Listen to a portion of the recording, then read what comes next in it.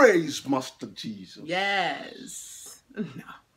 Awesome. All God. right. Amen. Amen. Awesome God. We just want to come and speak something really quick. I hope it be really quick. But um, as people of God, especially um, a husband and wife that's in ministry, not even just um, husband and wife that are in ministry, but husband and wives that are living, um, are so called Christians or living a saved life.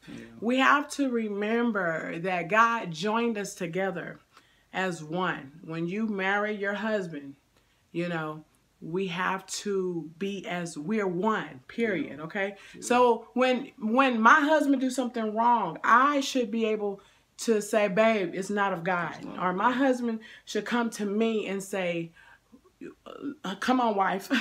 You're not doing something right. That's the reason why god joined us together because not that i'm supposed to be so submissive that i can't give my husband correction or my husband can't give me correction or women don't want to be submissive like that as well. But uh, even the word says that uh, we're supposed to be submissive one to, to, to one to another. Okay, and we know as women we supposed to let allow the man to be the head of the household. Okay, first God, your husband, and then you, the kids. That's how it's supposed to be. And um, you know, it it it it, it hurts me. Um, I was the reason why um I was reading something, and um, the woman of God knew her husband um has been going to hotels and cheating and and messing with prostitutes, and she'll call her husband all the time to see how he's doing. Uh, is he safe? And and then he'll go to church on Sunday and he'll preach the word of God. That that shouldn't even be happening. Yeah. Um, if if it was my husband, I'd be like, no, you in sin. You need to step down. You don't need to Okay, you we putting other people in danger in the congregation. Okay, um, there's no need for um, like if I was cheating, most likely my husband would get on to me. now you don't need to be preaching the word of God. We we shouldn't even be on camera. You know what I'm saying? Um, because that's putting first of all your spouse in danger, and not only that is putting um, your congregation in danger. And we got to learn. That's why God wants us to humble ourselves and seek His face and turn from our wicked ways. And um, that's the reason why, you know, and we and um. God is our number one covering. And um yes, apostles are out there to cover churches, all right? But if you don't have any of that, your uh, first of all, your apostle don't know don't know everything, which he should, in my opinion. Yeah. Your apostle uh, that is over your church should know every he should see into the spiritual realm he should know these things so if your apostle don't know that your husband is cheating or your wife is cheating then somebody need to correct one another would you like to say something Yeah, what I want to say is this: uh, uh, uh, uh, what my wife is saying seems like uh, conscience has depart from a lot of uh, people, Yeah. both husband or wife. Conscience. Paul said, "What is your conscience saying?" Right. Saying, can you still feel your conscience Mm-hmm. if you see your husband not doing something right? And you, why will you allow your husband to even stand in the pulpit? come on to address people, not even to uh, about being a minister of God, even uh, as a Christian. Yeah, as my wife has life. said. Things like this, we need to stay focused and be, uh, and you know be an example of the, of the Christ Right. Jesus that we always profess. yes Okay, because we can't just go out there and we answer Christians and you know what your husband or what your wife is doing that is not right, and you still you still harbor those things in your mind. You still keep it or you still wave it away Right. Mm-hmm. because you do the same thing. You know, I believe if you cannot control your husband or your wife, that means both of you are in the same dirty business. okay That's what I believe.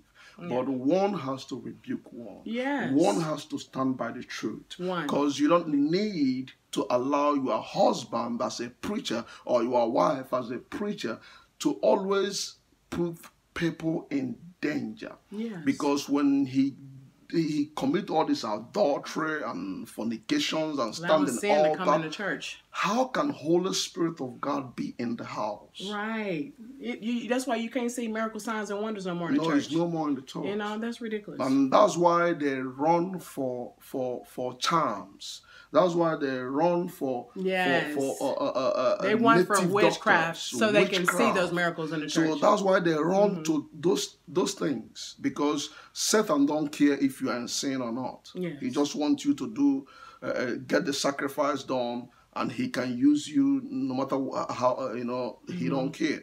right. So they they they know now they are now insane, and the wife, hey, we need this money. Yes. Okay, so the the wife, because you are at home mom, or Or you don't want to be embarrassed because your husband's Oh, you, you you. don't want to be embarrassed or something like that, and you are good with it. You, Yeah. you know, you okay with that.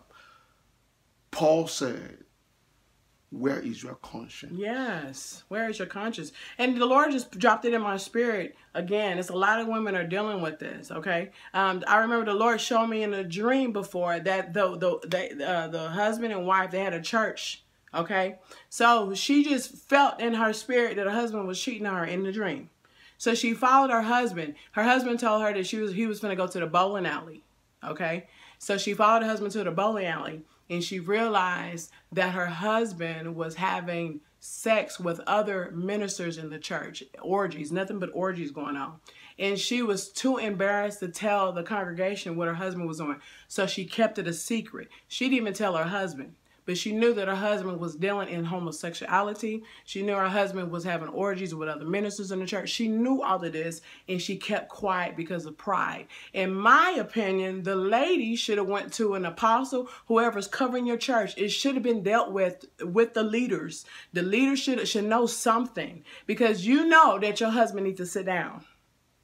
Okay, and not only that, the Lord was reminding me of this, the scriptures when uh, um, the husband and wife, the husband um, and wife told the ministers of God, uh, was it Peter? Yeah, Peter. That um, when we sell this land, we're gonna give it to the church. Okay, so they end up lying about it, and what happened? They dropped dead. We we have to realize that we are one, and um, if you love your spouse, we have to tell each other the truth. No, God don't want you to argue. God don't want you to argue, okay? But when it comes, especially when you're in leadership and you have a church, it's it's something has to come to an halt, okay? Because he's leading or she is leading herself into destruction and things like that. Anything you do in the dark must come to light. Come so to it's no reason for uh, you to put shame on your family. You just rather clear it up now or something needs to be done. Down. Yeah. Yeah. Yeah. Uh, uh, this is the word that we have for you and I as married people and uh, as married uh, Christians. Yes. You know, to pay attention to this, believe it or not.